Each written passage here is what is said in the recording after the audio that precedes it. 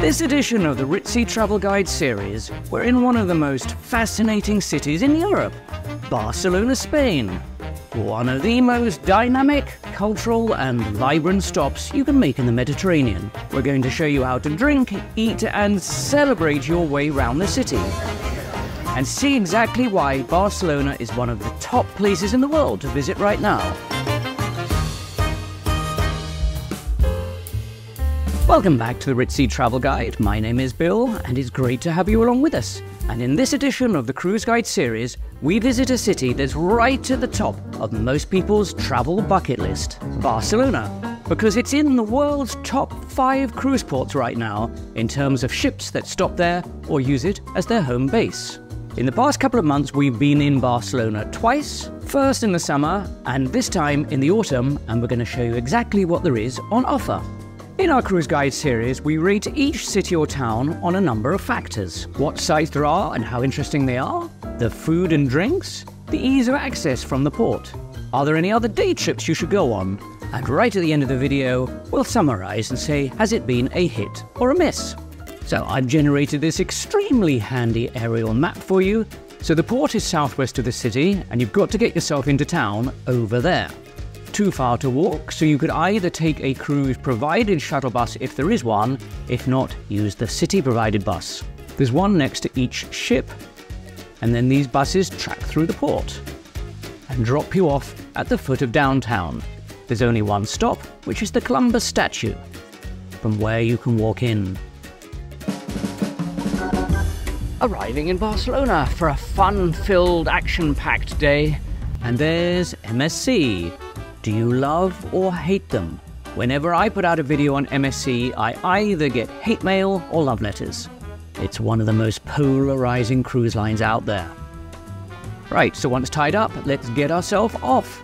Past the smiling, waving Cunard staff, good morning, and into the terminal, which is quite large, and down the stairs, and the first thing you'll come to is a large duty free.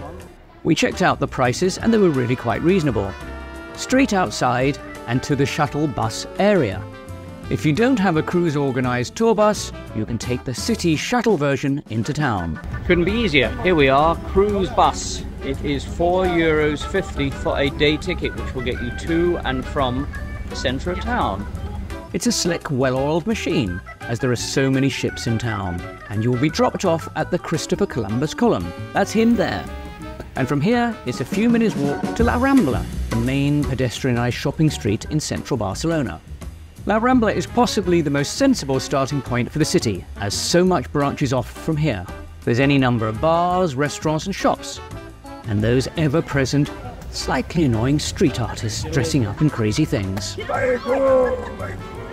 I thought that was a statue for a minute, but it's actually Galileo. Getting thirsty by the moment. Well, it's almost time, isn't it?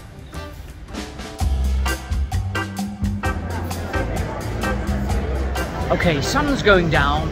It's tapas time. We're in Calle Blai, famous for its assortment of tapas bars. Let's go and see what we can find. Hmm? Look at that one. Oh my goodness, the choice is overwhelming. It goes on for miles and miles. Endless choices. Look at those. Come on, you know your taste buds are going. Alrighty, gang. Time for tapas. Getting hungry. Sun's going down. Everybody's out in the streets.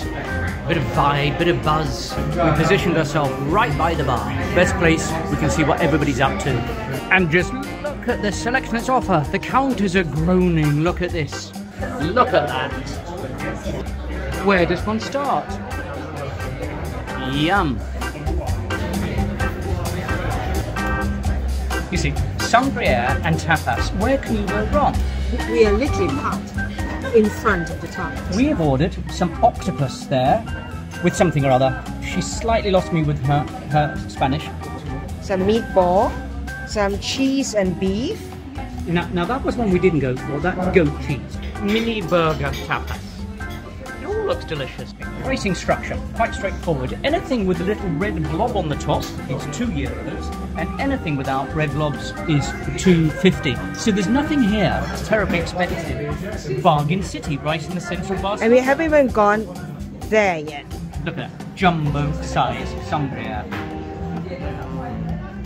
It's a really fun spot, this.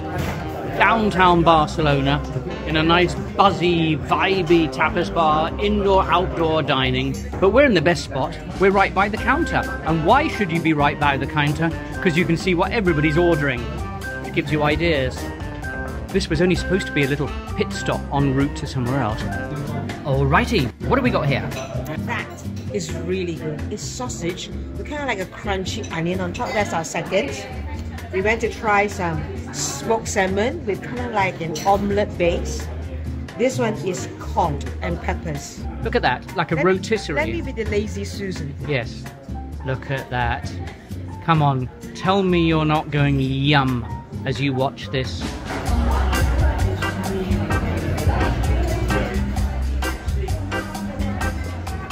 A mouthful of balls. The Spanish are really good at making super tender, super moist meatballs. Mm, Sushi on steroids. it is. Oh yeah. This is seconds. Sausage with a bit of crunch. Decadence. Cheers, Aperol Spritz, and this evening's uh, pinchos. We have a variety of things. This is sausage with caramelized um, onions and aioli. I'm enjoying being right at the counter here. I can see exactly what's going on. This one is a smoked chicken with serrano ham. Look at these. Right on to day two of Barcelona as we had barely scratched the surface. Incidentally, if you've only got one day, just pick and choose the best bits of what we're showing here and cram as much as you can into that. First up, let's take a look in Mercado Boqueria, the bustling market. It's buzzing, colourful, and bursting with things to look at. There will be any number of charcuterie items calling your name and tempting you to try. Oh my goodness. What a visual feast. Wow, what are those? Are they like profiteroles on sticks? It's eye candy everywhere you look. The colours of everything in here, they're just popping out at you. That's what you notice more than anything. When you're in a market, it would be an absolute sin not to try some of the food. First up, oysters. Size of those oysters. The size of those oysters, Try that one.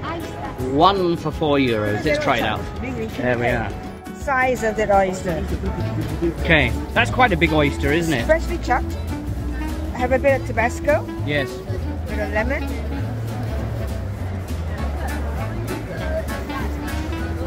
Are you are you tempted? I have the oysters. Why why are you looking away? Why is it slimy? That is extremely fresh. Anybody else want some?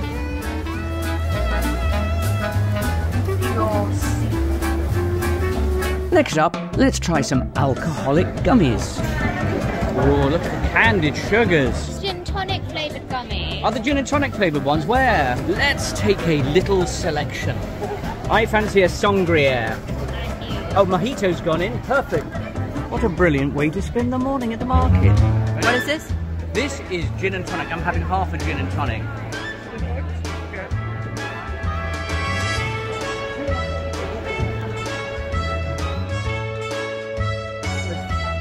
Oh.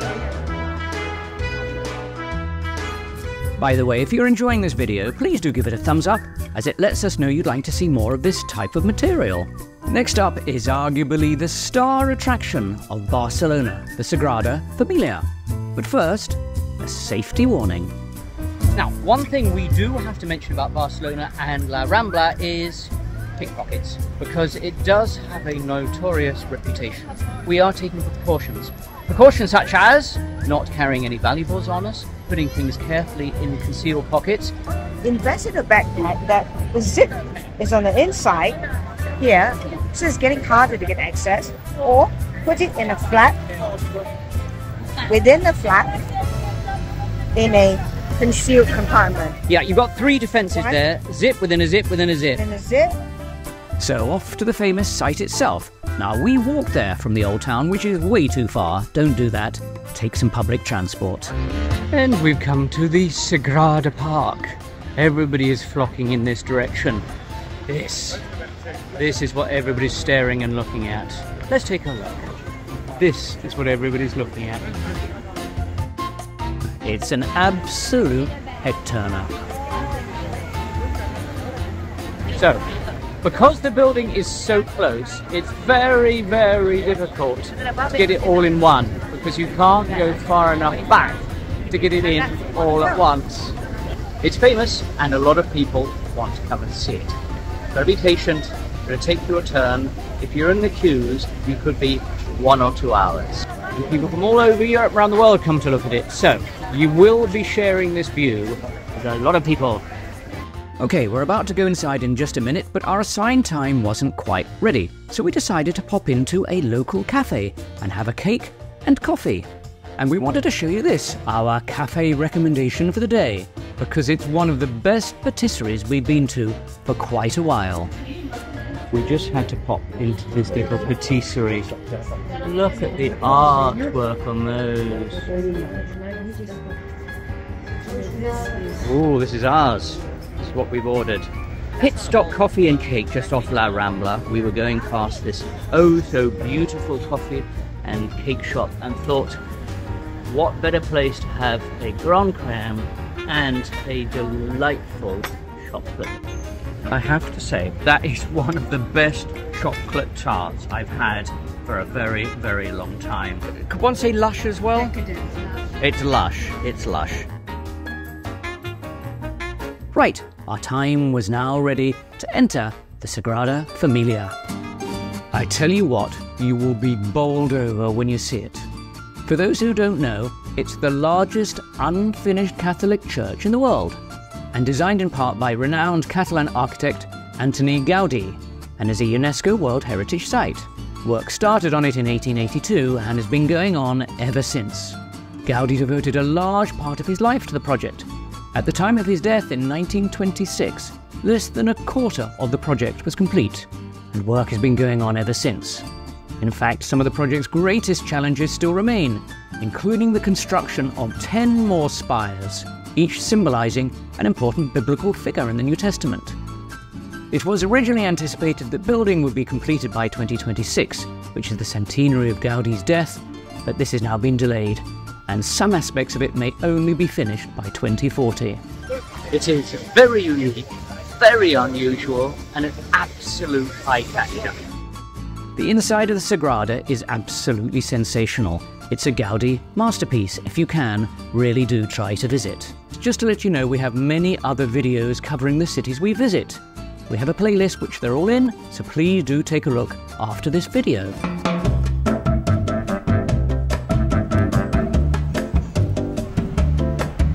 Dog in a basket. He's going for a stroll along La Rambla, that dog. Panus, one of the most well-known bakery chains in Spain, but what they have is superb. I think we need a chocolate injection. She's thinking about it. Should we have it? Should we have it? Sorely tempted, aren't you? Let's have some triangular chocolate. Mmm. Oh, we might be in luck. Now these are simple. That three of these chocolate pastry triangles for one euro 80. I mean, how can you go wrong? There's another two in there.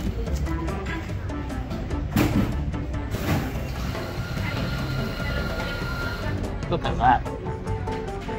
So much chocolate, so much pastry.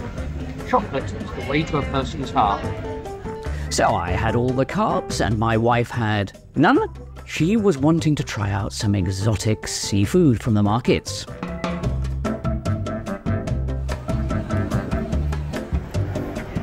Out to try something we've never tried before, some fresh urchins.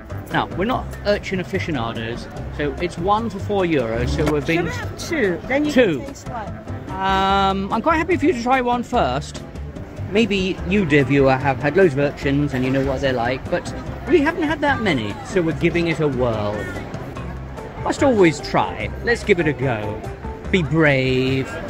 Okay, she's taking the scissors to it. I really don't know how urchins are prepared. Oh, does that look nice when all that gunk came out? I'm not sure there's anything left in there. Uh, a lot of sludge and slime. Some of the estuary, some of the uh, harbour floor came out of that one. Is that the bit we eat? All the gunk got thrown away. There isn't much left, so I'm thinking, Is that all there is? is that? Not a lot, is there? Okay, is that four euros well spent? You see, I would rather have one of those. You see, four euros to me, that is well spent. I think that. There was very, very little left, isn't there? Let's give it a bash. Brace ourselves. Mmm, Okay, it tastes like caviar. That's what it tastes like, caviar. is it? Spiky caviar.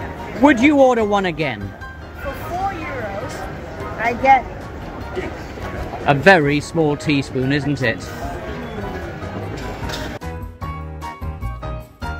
Glad she tried those and not me.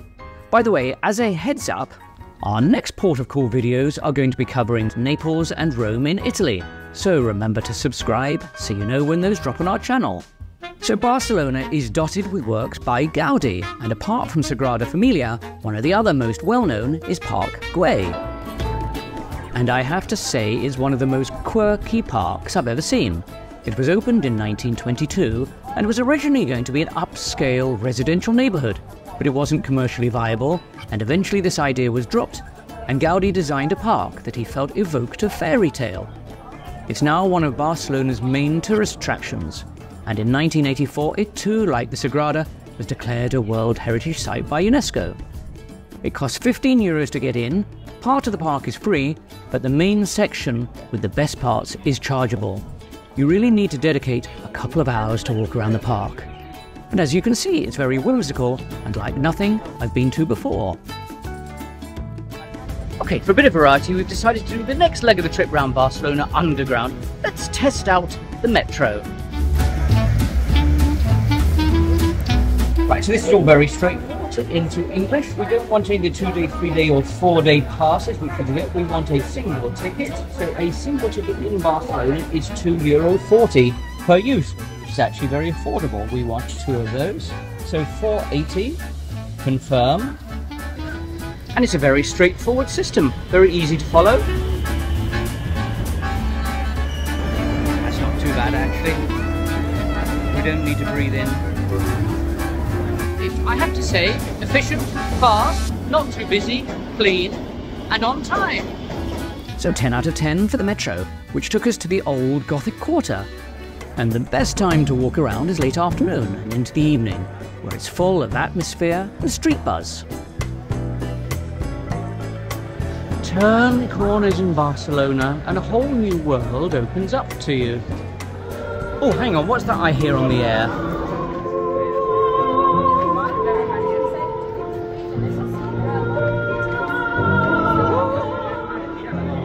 We're suddenly feeling very expressive. You're asking for backups. Yes, backup singing.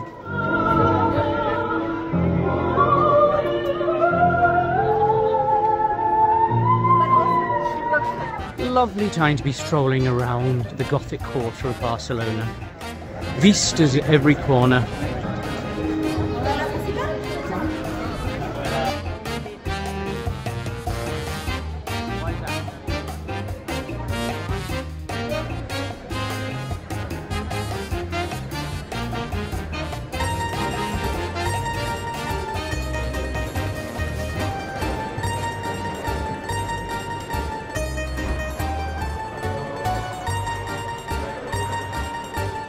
Time for dinner and a really authentic Catalan experience.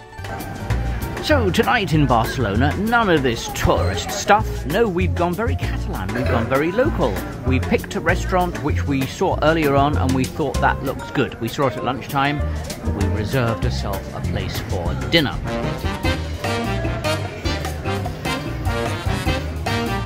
He's a real character, this owner. Salud. So there's only so much tapas and pinchos you can eat. We've gone really unusual here. Well, we hope we've gone unusual. It's Catalan speciality food. In fact, to be honest with you, half of the menu we didn't really understand. So we pointed to we had that, that, that, that. And I think we're going to have really authentic Spanish cuisine tonight. I've ordered oxtail in red wine, but Yeah. they ran out. Oh, So then I ordered um, like a chickpea with uh, lobster stew. Well, they ran out. So I ended up with a Catalonian bean stew. you got big beans.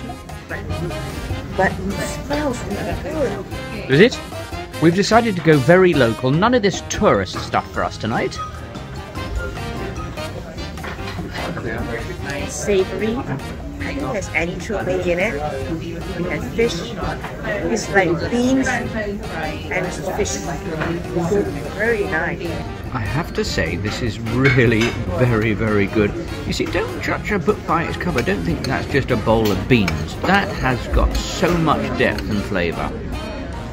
I don't think I've ever been so excited by a bowl of beans. I'm absolutely bowled over because we've got the beef cheeks in there, which has obviously been really reduced and concentrated. Here we go. We have beef cheeks with Spanish potatoes.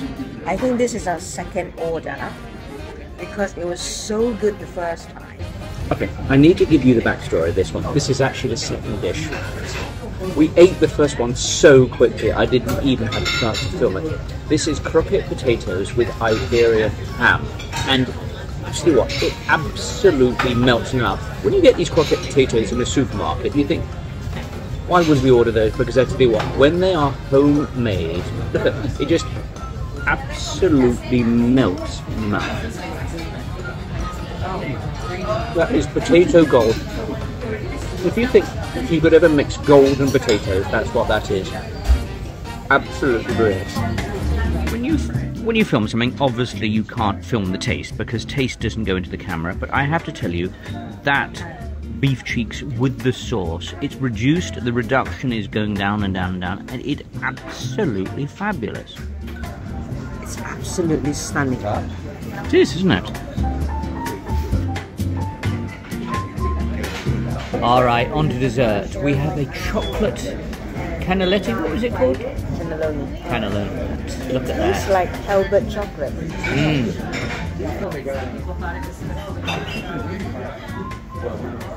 I know the look on that face. Chocolate in a very light, heavenly pasting. There is the bill. There we are. We had umpteen of those croquette potatoes. Uh, we had a beer, a wine, a Coke Zero. We had two main courses and a dessert for 47 euros. I would have happily paid much more than that. It was still fantastic. Absolute steal. Dinner debrief. I have to say that is one of the most enjoyable meals we've had for a long time for a number of reasons. Number one, it was authentic. Didn't speak almost no English, so it was lots of pointing, lots of sort of uh, gesturing and everything else. The food was just honest, good, tasty. Wasn't pretentious, wasn't pricey. It just oozed flavour, great ambiance.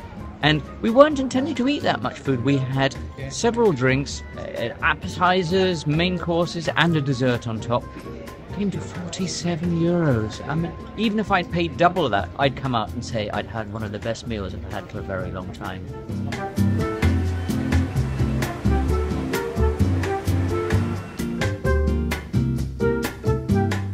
Now, if you are in Barcelona for more than a day and you're looking for some tips or suggestions for out of town excursions, there are a few. First is Tibidabo. Take the funicular up there and visit the church, the Sacred Heart, with spectacular views back down to the city. And if you have younger ones with you, there's also an amusement park. Secondly, a train journey up the mountains to see Montserrat. Most visitors tend to congregate around the impressive Benedictine Abbey. It's a stunning scenery position, perched right on a cliff edge. You can reach Montserrat via a special train service that leaves from Plaza España train station every hour. Thirdly, Barcelona is right in the heart of the Spanish wine growing region. The area here is famous for its cava, the Catalan take on French champagne. Whilst you could get there by train or car, it's probably easier to take a tour. And there are a lot of companies offering those. One better way to spend a day or two in Barcelona than tasting some of their glorious wine? Finally, whilst not strictly out of town, you can take the cable car to the higher parts of Barcelona. It costs 12 euros and has three stops, giving you those Instagram worthy pictures. But bear in mind, it only runs during daylight. You'll have to make your own way back if you miss it. And now, one thing we absolutely have to mention is if you're in Barcelona on a Sunday, because shops wise, it completely closes down. So you really must schedule something else to do if you're in Barcelona on a Sunday. Go look at the cultural attractions, see the museums, plan yourself a relaxing day because shopping is almost totally closed. There is just one exception to that shopping rule, which is a mall right down the harbour, which is called the Maremagnum. Right, now let's head back to those school boards we showed you right at the beginning and rank Barcelona on those various factors. First of all, the sights, and we have to give it 9 out of 10. There's so much to see and do in Barcelona. Next up, food in Barcelona. Let's also give that a 9. We could have given a 10, but if we give 10 across the board, you might get suspicious. So we'll give that a 9 plus-ish. Next up, ease of access. Okay, now because Barcelona is a big port, it isn't right downtown. You can't walk off the ship like you can in other ports around the world, but that's not to say it's bad. The city runs a really efficient bus shuttle service and it's not expensive and gets you very close to the centre of town. We're going to give that also a 9. Day trips. There are several that you can see. Most of them are very easy to get to. If you have a head for heights, you can take that cable car or head up into the mountains. Let's give it an 8. Now just be aware that sometimes those mountains do get rainy, so watch that weather forecast. And finally, the most important score is Barcelona a hit or a miss? We'd absolutely say it's a hit. We give it 9 out of 10. Now, if there's anything you think we haven't got quite right, or we missed out, or we're just wrong, please do let us know. Drop a comment in the box below. We always love to hear back from people. Several more destination guides in the pipeline, and remember to subscribe so you know when those come out. It doesn't cost anything to subscribe to the channel, but just makes it easier for you to know when the next video has come. A few cruises out there, don't forget we have comprehensive coverage of all of our cruises we take throughout the year, and you can find those in our cruise list. And in a couple of months' time, we'll be embarking on a brand new cruise series with Celebrity. We'll be on board their brand new flagship, the Celebrity Ascent. Thanks so much for joining us on the Ritzy Travel Guide. We hope you enjoyed our look at Barcelona. We have several more videos coming out on destinations and cruises in coming months. Whilst waiting for those to drop, you can watch some of our existing ones here, and you can watch some of them here. And we'll see you in those.